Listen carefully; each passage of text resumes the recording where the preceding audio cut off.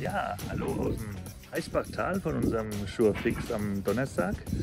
Ähm, ja, ich bin hier heute im äh, Haus C, äh, oben an der Dachfläche oder vor der Dachfläche.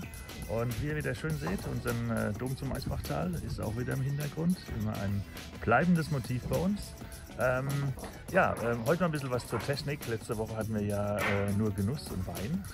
Übrigens auch da nochmal danke für die vielen äh, Rückmeldungen und die ersten Pakete sind schon äh, unterwegs an, äh, an euch.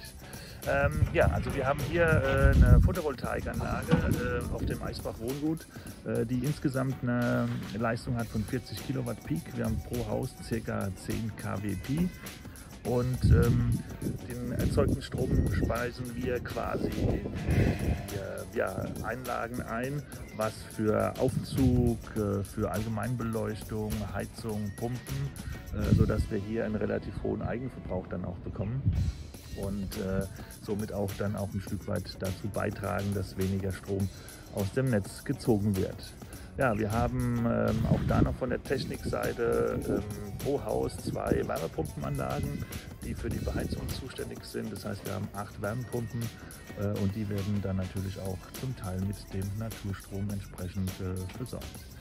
Ja, ähm, es läuft alles soweit. Die Putzer sind, äh, sind dran. Haus A und B wird ähm, äh, gerade der Vollwärmeschutz geklebt.